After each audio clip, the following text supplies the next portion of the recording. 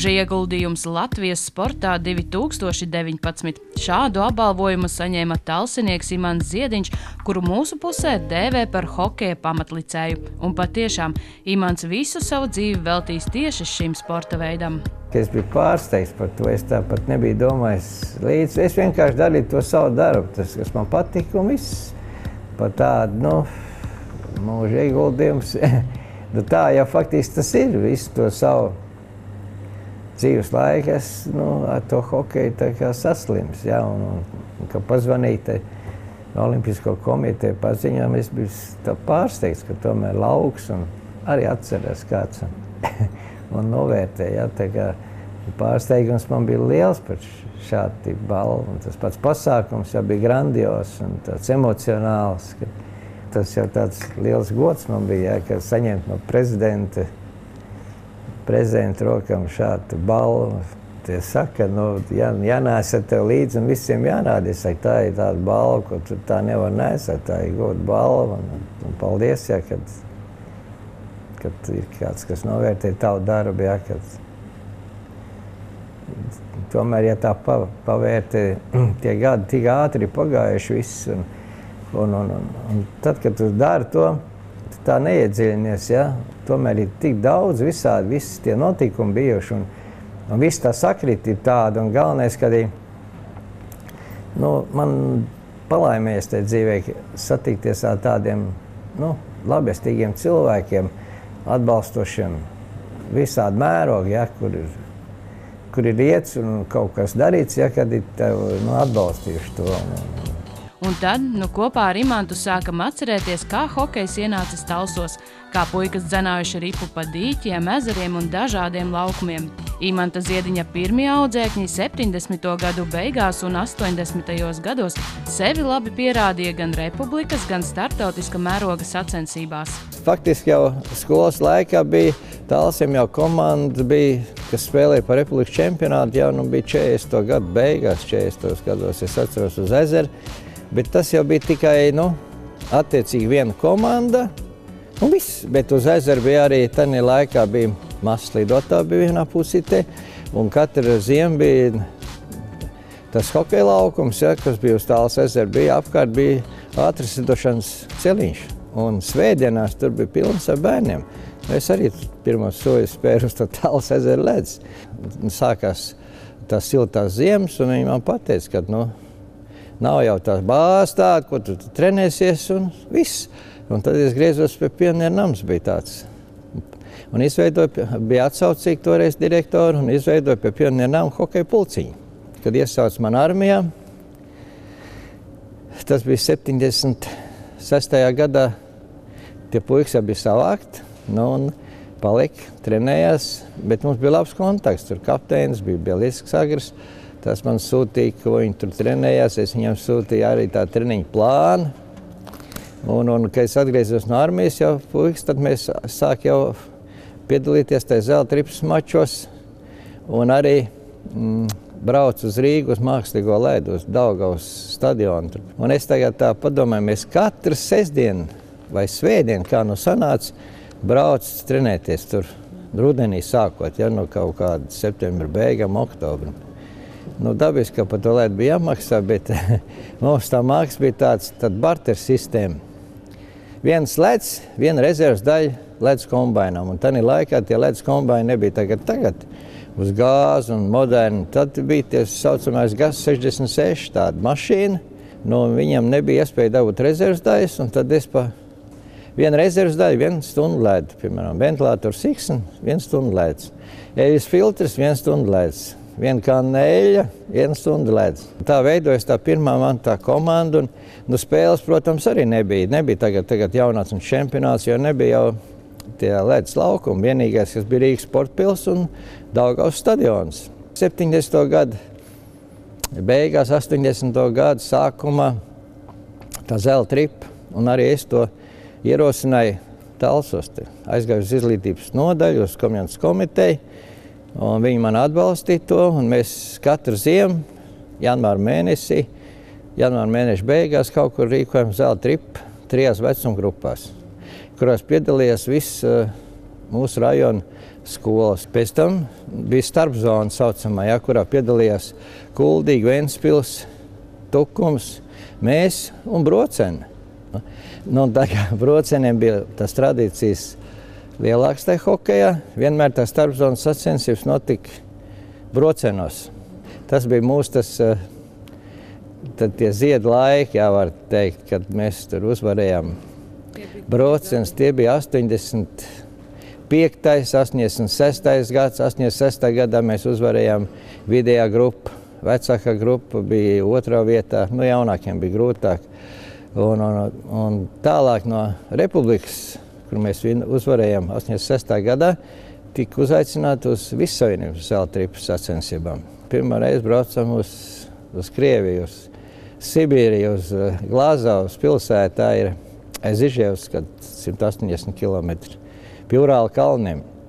Tas, tas bija puikiem, bija baigais pārdzīvojums. Mums bija jālido lidmašīna līdz Maskavai, tālāk ar lidmašīnu uz Iževsku, pēc tam vilcienu divas stundas. Ja. Tur viens lielākā daļa pirmo reizi ar lidmašīnu lidoja. Es pats arī faktiski pirmo reizi lidoju lidmašīnu. Vienam otram pats slikti duši bija. Un, nu, mūs ļoti silti sagaidīja tur. Krievi tur bija putekļi orķestris uz peronu. Mēs bijām gatavojušies, mums bija vienāds cepurīts un uzrakstīts bija talsi virsū. Tur jau tajā visienes mačos mums pirmā reize gāja grūti, tanīs spēlēs tik drīkst piedalīties tā kā amatieru komandas, sporta skolas komandas nepiedalās. Nu, lielākā daļa no Krievijas tur viņas jau augsts ziemas, un viena daļa bija arī tāda, ka druskuļi pašmaucās. Tur viņi zina, ka katru otro gadu bija tas fināla mačs. Vissainības. Viņi to grupiņu nenoformēja sporta skolā, bet noformēja tā kā pie nama pārvaldes. Un mums bija grūti cīnīties ar viņiem, bet mēs malēši, mēs tur labi nocīnījāmies. Nu, un otrā reize, kad mums paveicās ļoti labi, vēl bija zelta tripa 88. gadā. Tur mēs divas grupas uzvarējām, video un vecākā grupa, nu, bet uzaicināja atkal to pašu mūsu video grupu. Un tad mums jau drusciņi labāk gāja mēs tur netikām pirmā astoņniekā jā, iekšā, jo tur ļoti daudz komandas. Tur apmēram 30 komandām piedalījās fināla mačos. Mēs kaut kur tādā reizē bijām kaut kur pa vidām. Bet es domāju, priekš maziem tālsiem tas bija ļoti labi, jo tajā laikā Zelta rips prezidents bija savienībā slavenais krievu treneris Tarāsovs.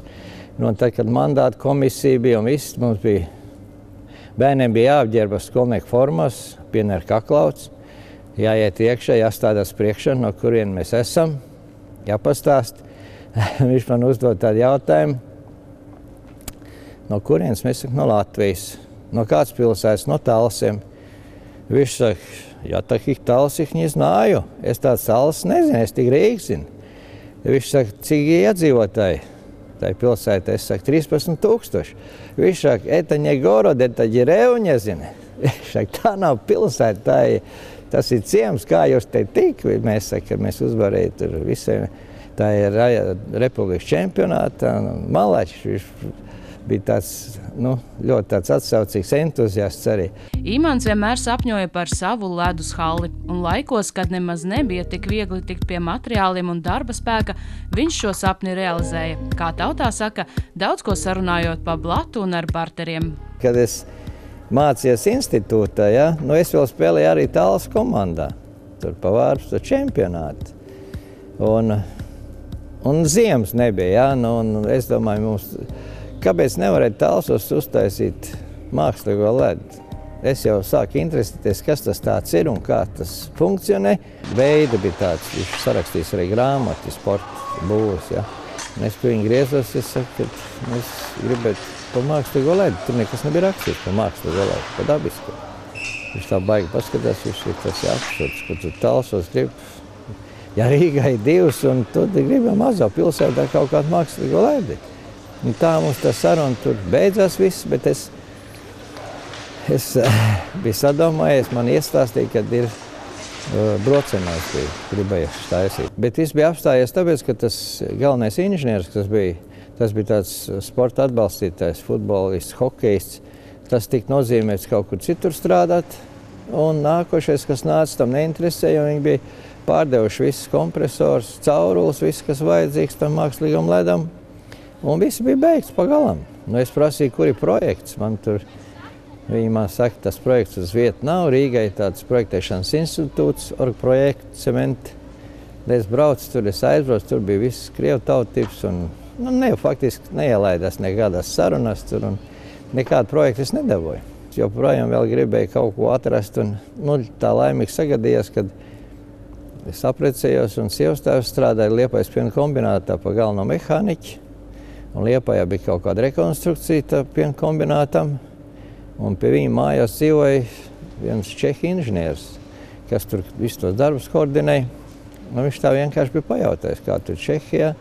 Un viņš izstāstīja, ka Čehijā ir uz plasmas caurulēm.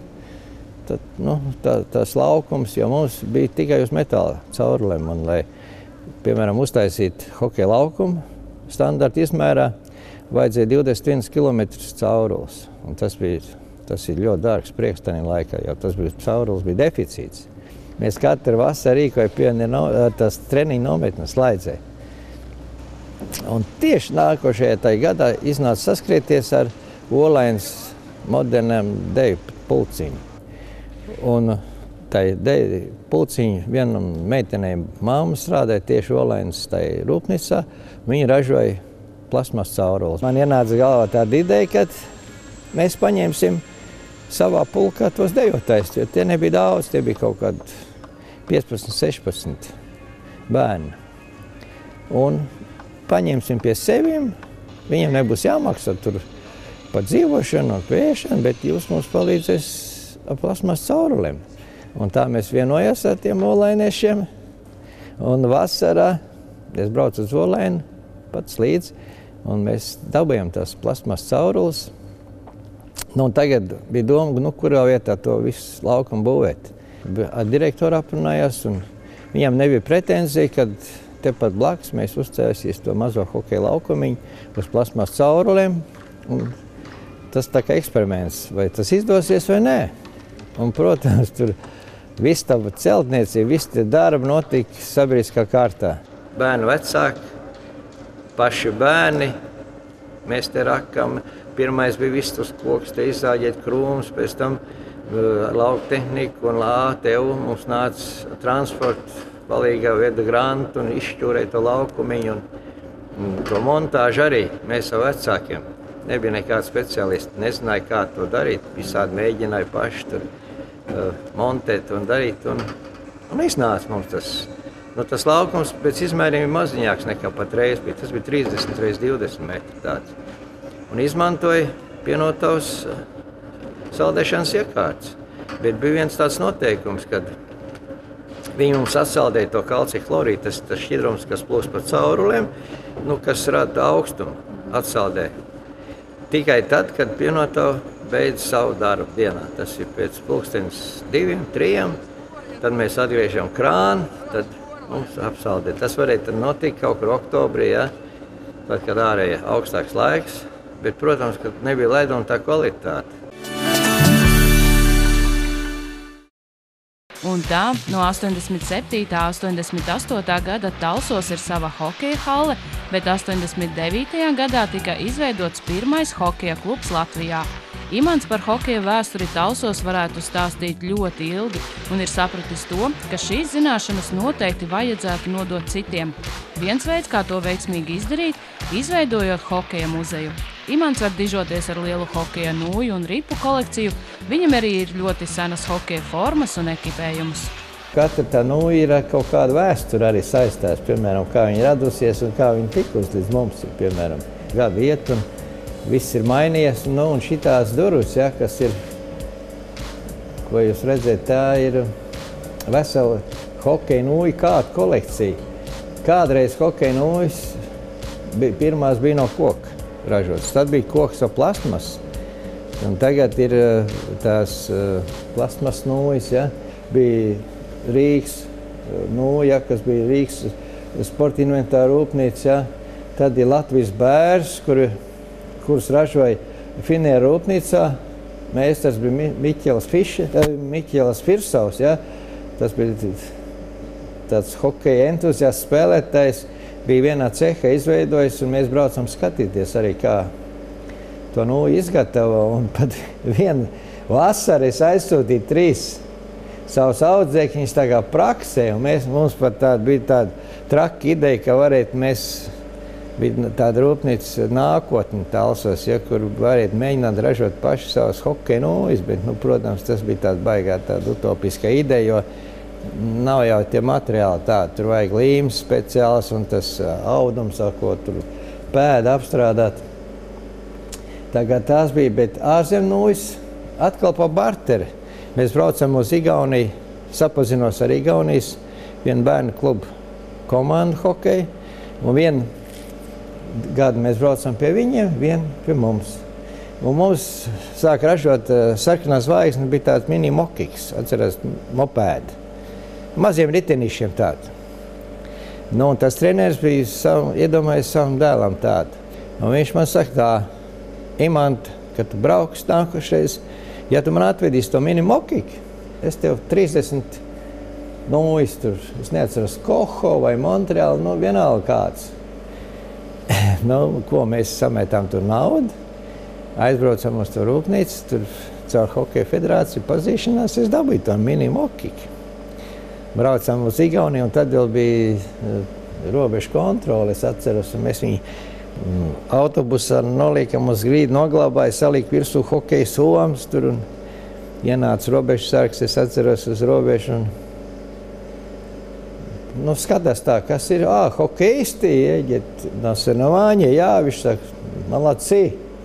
Novēlēja laimīgu ceļu, un tā mēs aizvedu viņam to mini mokiku, un tā mēs tikām pie importu nojām, ko varēja katram puikam iedot vienu labu tādu hokeja noju. Tā kā šitās nojas ir tāds, tāds vairs nekur redzes, kurš var redzēt, un atbrauc tie hokeisti veci arī, tā brīnās, ka mums tā viss ir saglabājies. Jo nekur tāda nevar redzēt, tāda, tādas nulles nav. Piemēram, man tāds unikāls krekls ir Maskavas Dienāmo spēlētājs Juris Reps. Viņš nu, tagad arī strādā par treneru Latvijā. Viņš man uzdāvināja savu spēlētāju kreklu ar visu autogrāfu. Tādu. Un, un, un tāpat inventārs, tie hokeja cimdi ir un, un ka es te drusciņi biju ieminējies, ka grib veidot tādu muzeju. Man no Rīgas zvanīja arī vecs hokejs, kas grib nu, uzdāvināt. Viņam ir vēl saglabājies tas vecais inventārs, to arī to hokeja muzeju. Tāpat mums ir pirmais ledus kombains, kas ir ražots um, rūpnieciski Vāras Volški automobīļa remontnī zavodi, ar ko mēs uh, tīriem ledu vēl nebija uzcelts šī mākslīgais, bet uz atklāto laukumu, ja, ko es Daugavs stadionu arī barteru veidā, ja viņam, viņi gribēja nodot lūžņus, bīstums laukā, un es gāju pie tā vadītāja un prasīju, vai es nevaru nodot to kombēnu, viņš saka, tad man zīmi pat tur trīs tonnām dzeles, kas ir nodots metal, no metālūžņos, un tad tu viņu var savākt. Dabiski es te dabūju tad savāc visādas lūžiņas, nodevu to trīs tonu, aizvedu zīmi viņam un atved to kombainu, te uz lauka tehniku, divi entuziasti, bērnu vecāki, paņem atvaļinājumu ziemā kaut kur un, un viņu restaurēja. Un, un mēs ilgs laiks ar viņu braucam. Tas arī viens no tādiem unikāliem eksponātiem. Tāds, tāds nekur nav. Vispār atbrauc tās pašas, tie Krievu komanda bija atbraukusi. Viņi arī brīnījās, ka, nu, diemžēl, tā lauka tehnikas muzejā viņi tur nebija iebraukuši angārā, viņš ir tāds bēdīga izskats, bet viņš jāatjauno mums ir. Tad otrs tāds eksponāts ir šis pats kombains, arī 71. gadā ražots, ko mums Zviedru uzdāvināja. Tas arī tāds nav, tas unikums tāds arī, viņiem pat Zviedrijā nav tāds. Zviedri bija atbraukuši un kā mēs esam saglabājuši to. Tā kā visādi, visādi, te mums jau varētu būt visādi visādi šī attribūti, kas bija kādreiz, kad spēlēja hokeju, un, un kādi ir patreiz. Tagad var, varēs salīdzināt. Vērtīgākā ripa bija tāda ripa. Diemžēl viņa nu, nav saglabājusies. Kad es sāku spēlēt hokeju, Nu, kādu hokeju? Nu, uz, uz tā paša ezera. Mēs satikāmies ar savu klasbiedru, Cābolu Jānis. Viņš dzīvoja ezera otrā galā. Mums hokeja nu nebija, bija no Lāstas. Tāds līks. Un mēs spēlējām konzervbonģu, kurā bija lupats salikt un tā. Jo rips tajā laikā arī bija deficīts. Tur nebija tā kā uz treniņiem. Es skatījos, uz ezeru, izbērs veselu spāņu rips, nu tikai spēlēs hokeju. Tā tur nebija. Tur bija dažs rips tikai, un tos rips no tāliem tik tā varēja redzēt. nu, un tad vēlāk, kad jau es sāku slidot tur un, un uz skolā mēs slidojam uz, uz, laukumu, man tēvs brauc uz Rīgu un atved pirmo hokeju nūju no koka un atved hokeju ripu. Un tā bija tā pirmā ripa, un lai to ripu kāds nepaņemtu un, un, un tur nepazaudētu, tad, tad tur vienā pusē iegriez nāzi I burtiņu, otrā Z, IZ. Tā bija mana zin, tā bija tāda vērtīga ripa. To mēs tikai spēlējām tad, kad nu, bija mačs kaut kāds spēle uz dīķi. Protams, ne uz laukuma, uz, dī, uz laukuma bija bīstami, ka kāds tev nepaņem vai kā. Uz dīķi spēlējāt to ripu trenējās abonģis, bet spēlēja arī īsto to hokeja ripu. Un tā bija gumija. Tagad ir kaučuka rips, tad, tad jau no gumijas ražoja tas rips, viņas lēkai. Tur. Bet tad jau nebija tāds tas nūjas, un tas jau bija deficīts, tā, tā ripa pat, ka tāda. Es nezinu, varbūt citās Rīgā tas nebija tā, bet pie mums tālsos tur bija izteikti, ka tā ripa bija, tur tā nevarēja tas rips nekur dabūt. Un, ja tev bija ripa, tas tur bija liels liels no svara. Es atceros, ka aizgāju uz dīķi un jāspēlē hokejs un nav. Man gaida pagaidīs ziediņu, viņam ir ripīs, tad, vai tad mēs spēlēsim. Kādreiz tas bija baigais retums tāds, tas rips dabūt kaut kur. Tagad jau redz masveidā, tas jau ir tā kā reklāma tāda. Un vairs nav tik interesanti, es uzskatu, ka tas tāpat kā Marks krājas bija. Es arī biju filatēlists, kādreiz krāju pastmarks, ja? Kad tad bija meklēja, un nebija tāda baigā izvēle, un nevarēja tā dabūt. Tur par katru marku cīnījās, lai būtu tas, tā, tā marka, man patīk. Un tagad tas pats jādara pat tam hokeja ripam. Tur katram, tad jau nebija visiem klubiem tās hokeja rips tāds. Bija atsevišķiem, sāgai bija, un es pat nezinu, kam vēl bija tāds rips, pat visam sporta skolām nebija tāds rips. Tagad ir katrai sporta skolai rips piemēram, pasaules čempionāta rips bija tā, ka viņi zināja, ka tie cilvēki, kas te nāk un paziņas, nu, kad es kolekcionēju tas rips, viņa atbrauc un atved, kas suvenīri man un uzdāvina to ripiņu. Bet tas ir interesanti, ar to katru ripu saistās kaut kādu vēsturi, ja, piemēram, divas rips ir tāds, kur, kur mēs gājām, kur tas stendiņš ir, ja, kur, kad bija divi reizes, bija tās profesionāla komandas Rīgā spēlē hokeju. Man liekas, man reāli, ka Vašingtona kapitāls vai nebija, un Monreāla kanādienas rips bija. Tāds, tāda ripa bija, tāds divas, ja. Pat nav daudziem tāds rips. 70. gada beigas, 80. gada arī bija tādas krīzes, kad veikali nebija, tur nevarēja dabūt to un šo. Un tur, un cilvēkiem nebija tie labākie sadzīves apstākļi. Un, un tomēr mēs varējām to īstenot 80. gados, to, to slidotavu. Jā, un, un galvenais, ka tas iegūms mums visai pilsētēm, visam tam rajonam bija, kad varēja nākt un slidot. Tā bija mums liela priekšrocība. Tikai jau pēc tam nākošā slidotā bija Liepājs. Bet lai viņš kāds laukums, viņš tomēr ir ledus laukums, mākslīgais. Mēs esam patreiz nu, vecākā slidotāja. Vecākā. Tā kā ir ļoti nepieciešams pēc jaunas. Un mēs, es, es domāju, ka mēs esam pelnījuši to, to slidotāju, lai, lai mūsu puikas te paliek un nebrauc prom un spēlē. Un būtu labi, ka kādi vēl būtu cilvēki, kas to saprastu un atbalstītu visu to.